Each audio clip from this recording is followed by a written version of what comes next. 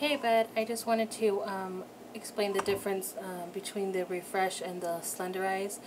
Um, I'm sure you probably already know, but you can make those smoothies that you're making every day and not feel guilty about them.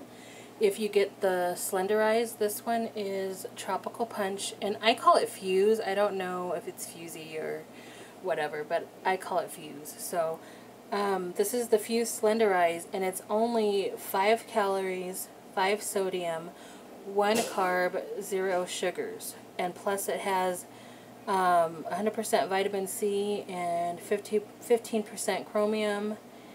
And um, it has the other nutrients that are carnite and super CitriMax, I guess.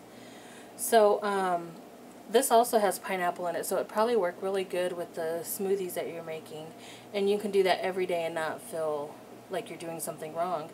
Um, I also use these. I have a strawberry melon one that I use with the um, strawberry kiwi nectar that I have that has, um, I do the protein shakes. So I mix that in there and it's really, really good. So um, just wanted to let you know that if you don't want to feel guilty, get the Slenderize and you can do those every day. And these are delicious. They are to die for.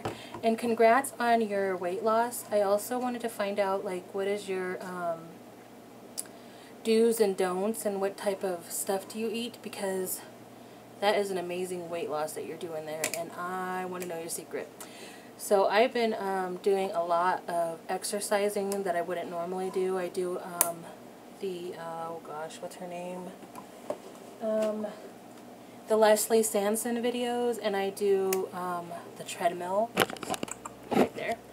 And um, I try to be a lot more active than what I've been lately, so that seems to be helping. But I am running into problems when it comes to food, like what to eat and um, not eat, and um, different varieties of things that I can eat and not feel guilty. So um, maybe you can do a video about that. That would be awesome.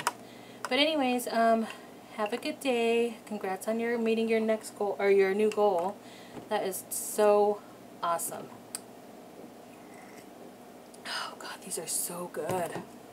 Bye.